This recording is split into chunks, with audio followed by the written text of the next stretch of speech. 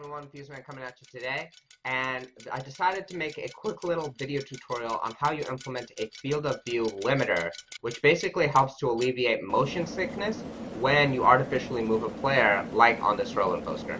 And as you can see here, I'm basically shrinking the field of view as we increase the velocity.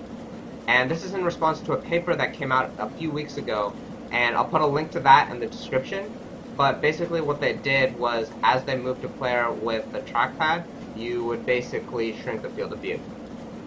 And I think this is something really important to try. So I'll also put a link in the description to where you can download this, which is going to be up from our blog post on fusedvr.com. And you can try this out for the Vive, which we're going to be developing with, as well as the CV1 and DK2 because we're using SteamVR. And at the end of this video, I'll also show you how it works with the DK2. But basically, when you try this out, you'll have the field of view limiter. It'll look a lot different from what you're seeing on the display. And you can enable or disable it by pressing any key on your keyboard. So that disables it right there. And it'll also work with Google Cardboard if you follow along with the project and then just tweak a little bit of the settings. But other than that, let me show you where you can get this roller coaster so that we can get started with this tutorial.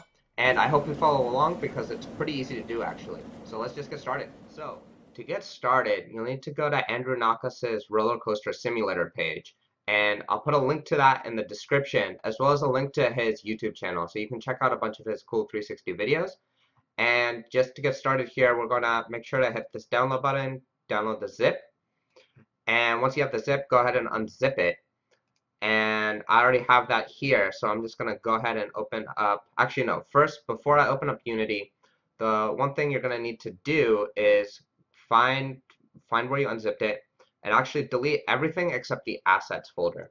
There's like a this small little bug with the beta right now where if you're importing in something that's prior to like 5.0, which this project is, a lot of the settings cause Unity to crash.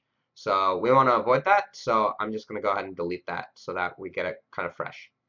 And once you do that, go ahead and open up 5.4 Unity's beta and the reason I'm using the 5.4 beta for this specific project is because I want to use SteamVR's native support, which will come really handy if you want to support the CV1 or the Vive. So I think that's really cool. So I'm just going to go ahead and select that folder with just the assets in there now. And it's going to go ahead and upgrade the project basically. It'll notice like some of the API calls are a little old, so it wants to go ahead and upgrade them. So we're going to let it do that and I will see you in a bit as soon as this is done upgrading. Awesome. So now that we have the project upgraded and into 5.4, we're going to actually go ahead and go to the assets folder and we're going to go and jump into Roller Coaster 3's Unity scene. And so if you open that up, you'll see that the skybox is kind of broken.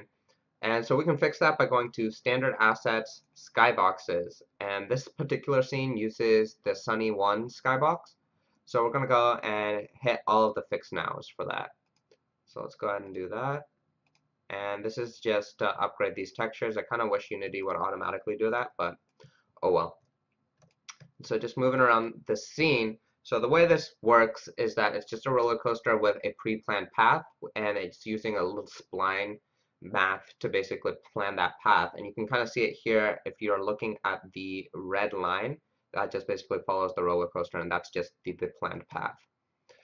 And so all of the code for this is primarily driven by this cart3 object. So if we kind of zoom into this, and you can see that there are two cameras here. So the first thing we're going to want to do is open this up and get it to work with our CV1 or Vive. And to do that, we're actually going to disable the dive camera. So this is actually a Google Cardboard camera. So we're going to and disable that and then go to this main camera and then just get rid of this gyro script. So once we do that we can go to build settings and we'll just add this scene to it by hitting add open scenes then go to player settings and enable the virtual reality supported. It'll default to the Oculus SDK but we actually want to use the OpenVR SDK so just add OpenVR and then remove Oculus with these plus and minus buttons and once we do that, I'm just going to move this out of the way, and we can hit play. And there we have it. We can put on our headset, and we are in our roller coaster and everything's working with VR. So there we have it. And so now, I'll just stop that.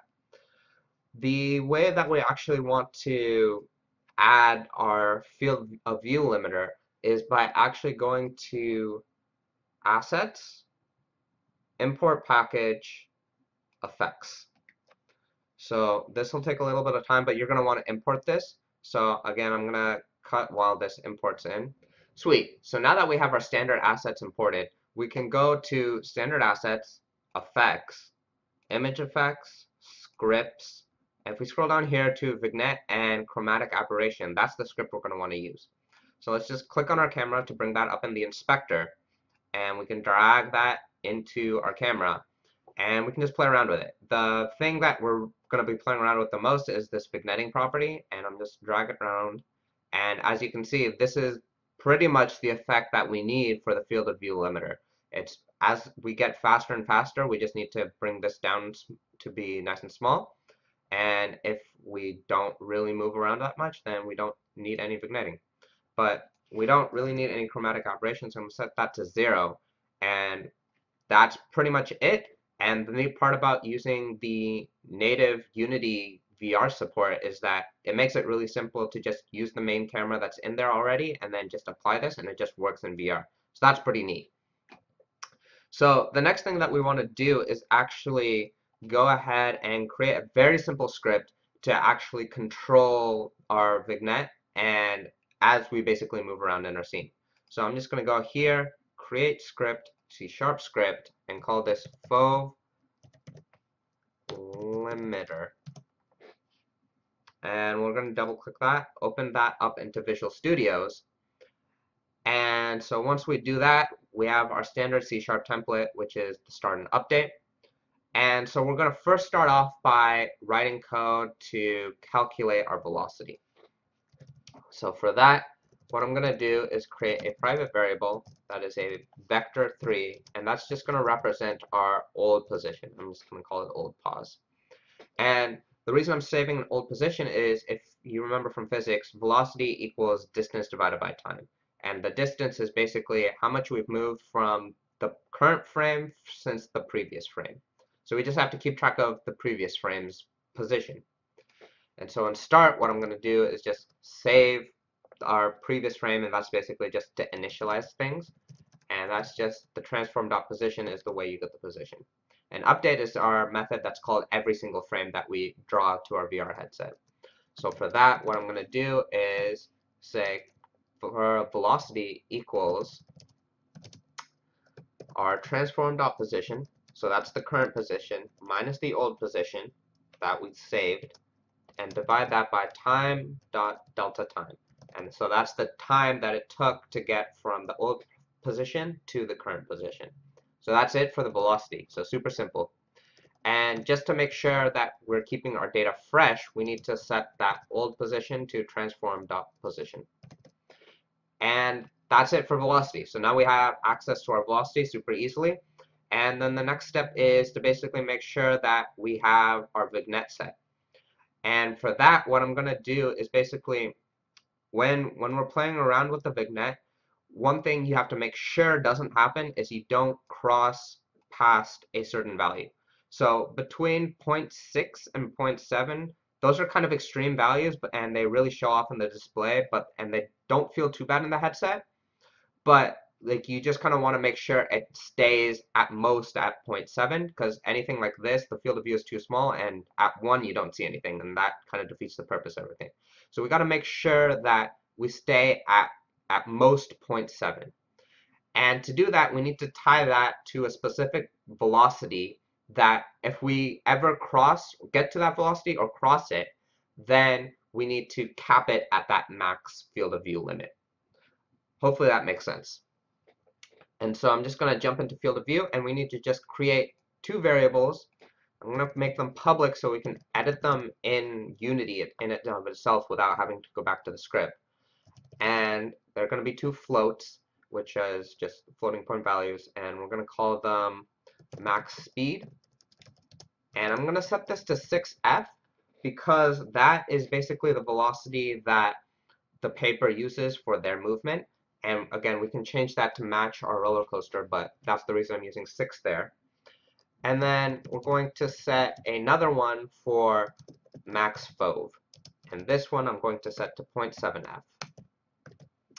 So with those two in place, those values are what we're going to be using to attach and change our vignette.